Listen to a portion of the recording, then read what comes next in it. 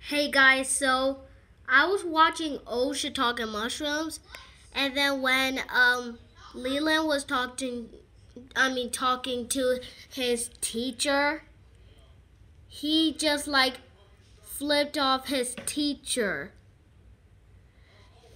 and then Lee told him to not play video games, but he was, so yeah, he flipped off his teacher um by like um two hours ago. He was like flipping her off like for no reasons.